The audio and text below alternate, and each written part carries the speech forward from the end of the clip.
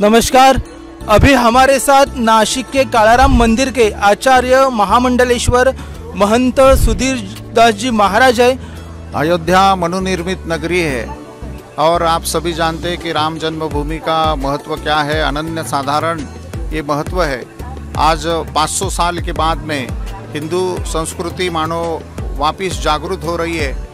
आदरणीय मोदी जी, आदरणीय योगी जी ने ये जो पूरा प्रकल्प विश्व हिंदू परिषद संघ और सभी कार सेवकों ने जो बड़ा संघर्ष किया, वो संघर्ष के बाद आज ये सुवर्ण दिन दिखाई दे रहा है।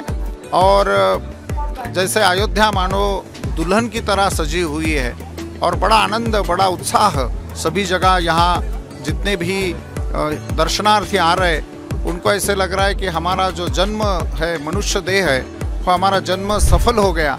इस तरह की भावना आज सभी भाविकों में है और पूजन का जो विधि है, कल से प्रायश्चित विधि शुरू हो गया। आज सभी देवताओं का अधिवास होता है। पुष्पादिवास होता है, जलादिवास होता है शैयादिवास होता है, केशरादिवास होता है। और गणेश पूजन, पुण्यावाचन, मातृका पूजन, वसुरधारा, आयुष्य मंत्र, नांदी श्राद्ध इत्यादि सभी धार्मिक विधि यहाँ संपन्न आज होने जा रहे हैं। महाराज कालाराम मंदिर और अयोध्या का श्री राम मंदिर, इसके बारे में आप कहा, क्या कहना चाहेंगे? जी नासिक और अयोध्या जी का अनन्य संबंध है। जब प्रभु रामचंद्र जी वनवास के लिए पधारे थे तो उनकी पर्णकुटिया वहाँ थी।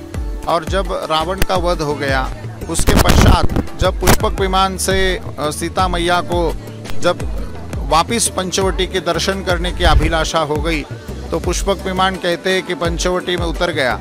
और जब सीता माता बड़ी प्रफुल्लित थी, बड़ी आनंदित थी तो हनुमान जी महाराज जी ने कहा था कि मेरा जन्म स्थान अंजनेरी बगल में है तो वहाँ आप भी चलिए। तो राम जी ने कहा कि भरत, अगर मैं शाम तक अयोध्या जी नहीं पहुँचूँ तो भरत जो है अग्नि प्रवेश करेंगे।